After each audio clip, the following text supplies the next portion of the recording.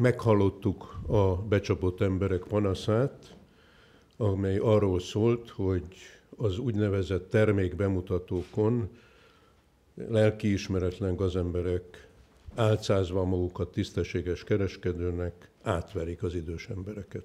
Léptünk, méghozzá hármat, három törvénymódosítást követtünk el, amelynek eredménye az lett, hogy visszaszorultak ezek az akciók. Természetesen a bűnözők találékonysága az a régi, keresnek új utakat, de sokkal kisebb hatékonysággal, mint eddig. Nekünk kell figyelni erre, és, és ahol lehet közbelépni. Én még egy gondolatot szeretnék itt megemlíteni, azt, hogy más területeken is nekünk érzékenyen kell figyelnünk az ilyen jelenségeket. Például az üdülési jog területén történt visszaélésekre, vagy amire szintén bejelentések érkeztek, az internetes vásárlásoknak a világára. Az én személyes véleményem az, hogy sokkal szigorúbb büntetést érdemelnének, azonban a büntető törvénykönyvhöz nem lehet ötletszerűen hozzányúlni, ez egy alapos előkészítést igényel, arról nem is beszélve, hogy a tetten érés nem olyan egyszerű ezen a területen. Minden esetre ez a három törvénymódosítás, amit a termékbemutatók kapcsán megtettünk, az meghozta az eredményét.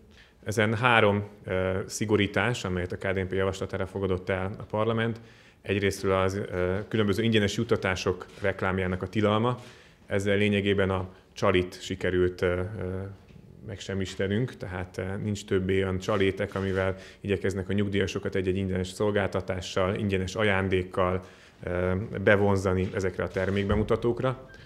Másrésztről kötelezővé tettük az ügyfélszolgálatoknak a fenntartását. Ez azért fontos, hiszen a törvény korábbiakban is garantálta minden, válasz, minden vásárlónak, minden fogyasztónak azt, hogy elállhat a termék megvásárlásától, tehát visszaadja a terméket, és visszakapja teljes mértékben azt a pénzt, amit érte adott, de hogyha nem volt ügyfélszolgálat, nem volt elérhetősége a cégnek, amelyik a termékbemutatót szervezte, hiába volt ez a joga, joga nem tudott vele élni. Harmad részről pedig a helyben való hitelközvetítésnek a lehetőségét zártuk ki, hiszen sokszor volt arról szó, hogy több százezer forintos terméket adtak el egy-egy termékbemutatón. Nyilvánvalóan a nyugdíjasok nem több százezer forinttal a zsebükben érkeztek oda, éppen ezért, hogy hirtelen hitelt kínáltak föl nekik, azáltal, hogy megszűnt ez a lehetőség, így nem tud senki a valós, reális anyagi lehetőségein túl ott helyben kötelezettséget vállalni, hanem vagy a saját megtakarításaiból, vagy normál bankfiókban felvett hitelből tud ilyen számlákat kiegyenlíteni, de nyilvánvalóan amíg elmegy mondjuk egy bankfiókba, vagy amíg hazamegy, addig át tudja gondolni, hogy valóban szüksége van-e erre a túlárazott termékre. Ez a törvénymódosítás az idei év elején hatályba lépett, és a fogyasztóvédelmi hatóság idén március 21 és április 15 között átfogó ellenőrzést, rendkívül ellenőrzést rendelt el, hogy a szigorú szabályok betartását ellenőrizze. Azt tapasztalták ezen ellenőrzések során, hogy csökkent a fogyasztói panaszoknak a száma, és a most beérkező panaszoknak is egy része még az előző időszakról, a törvénymódosítás hatályba lépés előtti időszakból származott. Amik leginkább továbbra is hiányolt tényezők voltak, az a tájékoztatásnak a nem teljes volt az ellási jog érvényesítésének nehézsége, illetőleg ami ezeknek a termékbemutatóknak a specialitása, az irreálisan magas árak, hogy valamit akár ötszörös, tízszeres áron árulnak ahhoz képest, amiért azt mondjuk egy boltban, egy másik üzletben meg lehet venni. Egyértelműen visszaszorultak a termékbemutatókkal kapcsolatos hitel és kölcsönszerződések, sokkal kevesebben vesznek tehát föl már hitelt olyan termékre, amire igazából nincs szükségük, de többszörös áron árulják nekik. Klasszikus termékbemutatóknak a száma is a fogyasztóvédelmi hatóságnak a statisztikái adatgyűjtése alapján csökkent. Nyilván azzal, hogy az ingyenesség reklámozását megtiltotta a jogszabály, a legfontosabb vonzó ereje csökkent ezeknek a termékbemutatóknak, hiszen már nem lehet megtéveszteni valakit azzal, hogy egy ingyenes szolgáltatással, orvosi szűréssel, ebéddel, utazási lehetőséggel mással kínálják meg, és utána pedig hát egy több százer forintos költségbe hajszolják bele hanem, hanem most már ki kell írni, hogy pontosan mi az, amiért hívják oda őket, és ha már nem egy ingyenes szolgáltatásra, hanem egy több százezer forintos termékbemutatójára hívják őket, ami a valóság, sokkal kisebb a vonzereje ezeknek a rendezvényeknek, eseményeknek. Ami megjelent, az a telefonos megkeresés és a magánlakásokon folytatott termékbemutatóknak a, a tendenciája, illetve egy teljesen új, új mód is, hogy magukon a bemutatókon, amit sok esetben, ahogy mondtam, már akár magánlakásokon, magánrendezvényként tartanak, nem is árulják a termékeket, hanem azt mondják a vásárlóknak, hogy menjenek be ezeknek a termékbeutató szervező cégeknek a saját üzletébe, a saját irodájába, és ott tudják megvásárolni ezeket a termékeket. Ez azért nagyon fontos, hiszen egyrésztről megadja az alaposabb döntés lehetőségét a vásárlónak, be kell menni a másik boltba, másrésztről pedig a hatóság számára is elkezdenek sokkal inkább a látókörbe kerülni ezek a cégek, hiszen ha már fel kell tartsanak egy állandó boltot, egy állandó üzletet, akkor sokkal könnyebb akár az ellenőrzéseket lefolytatni, akár az adatszolgáltatásokat megtenni, akár, akár adott esetben a bírságot behajtani, hogyha már van egy létező, megtapintható, bejárható bolt, ahova el tudnak menni az ellenőrzésnek az emberei, akár a kormányhivatalok, akár a fogyasztói hatóságnak az emberei, akikhez sérelem esetén továbbra is fordulni lehet. Azt elmondhatjuk az ellenőrzések tapasztalat alapján, hogy továbbra sem voltak kifejezetten együttműködők, hogy szépen fogalmazzak a termékbemutató szervező cégek. Sokan a hatóság felhívására sem közöltek adatokat, az együttműködés foka sokkal alacsonyabb volt, mint más területen a termékbemutató szervezőknél.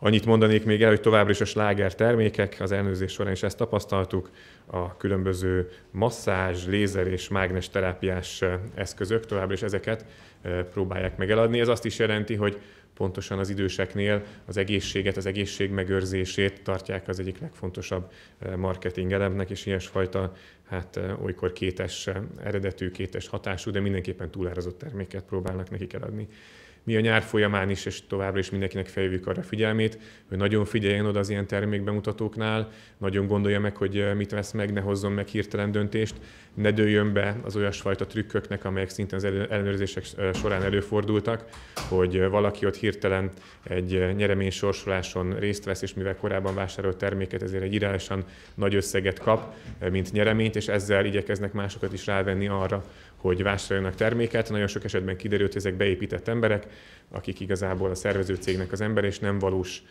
teljesítmény alapján, hanem itt egy, egyfajta becsapás, csalás révén mutatják azt, hogy ő egy nagyon nagy összeget nyert azért, mert korábban terméket vásárolt. Ezeknek a trükköknek nem szabad továbbra sem bedőlni. Két szabad vasárnapot szeretnének ezzel, mit gondolnak, hogy elérik, hogy népszerűbb legyen a párt, vagy mit szeretnének ezzel elérni, és nem gondolják, hogy ezzel elkerik az embereket? Ahogy most itt az átvert embereknek a pártjára álltunk, eredetileg pedig azoknak az embereknek a pártjára, akik kénytelenek voltak vasárnap dolgozni.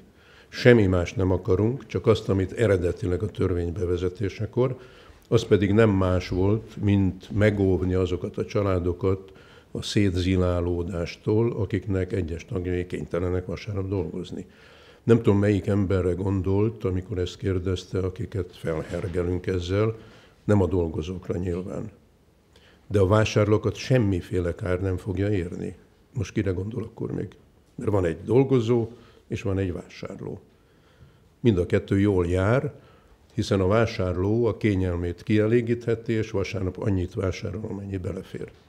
Viszont a dolgozó csak kettő vasárnapot lesz kénytelen, akarata ellenére dolgozni vasárnap. Kiszolgáltatott helyzetben vannak a, a nagy áruházláncok foglalkoztatottjai, hiszen ébérér foglalkoztatják őket, és olyan munkakörülmények között, amik nem normálisak. Nem csak a havi két szabad vasárnapot tartjuk indokoltnak, de indokoltnak tartjuk a 8 órás munkaidőn is, hiszen több mint száz éve harcolnak a szociáldemokraták, a keresztény szociális pártok azért, hogy a nyolc órás munkaidő megtartható legyen. Most oda jutottunk, hogy ezek a kereskedelmi láncok a dolgozóikat vasárnap 8 órán túl dolgoztatják. Ez botrány. Ez a véleményem. És természetesen be kell tartani a a munkatörvénykönyvének a rendelkezéseit, amely biztosítja a dolgozók számára a megfelelő szabadságot.